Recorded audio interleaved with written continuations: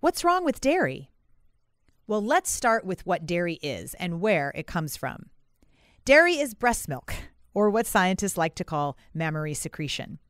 Other than water, this milky white cow concoction contains saturated and trans fats, cholesterol, and a sexy cocktail of natural female hormones. All dairy contains saturated and trans fats, even skim in trace amounts.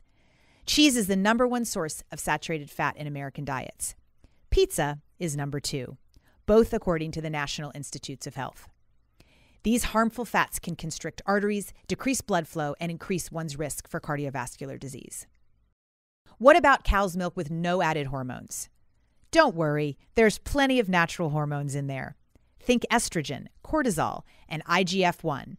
No wonder a 2020 study found that drinking just one cup of cow's milk a day can increase a woman's relative risk of breast cancer by 50%. In men, these hormones can show up as prostate cancer.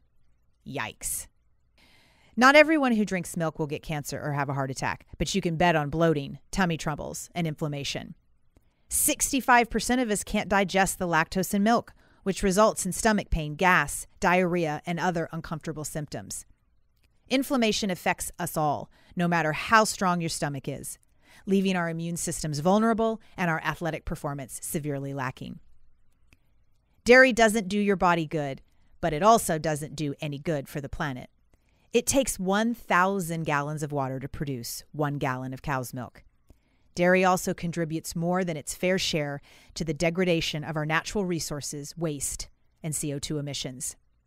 Disease promoting fats, cancer stimulating hormones, chronic inflammation, constant stomach pain, and environmental destruction.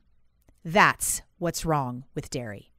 Visit switch4good.org forward slash why ditch dairy to learn more and make the switch for good.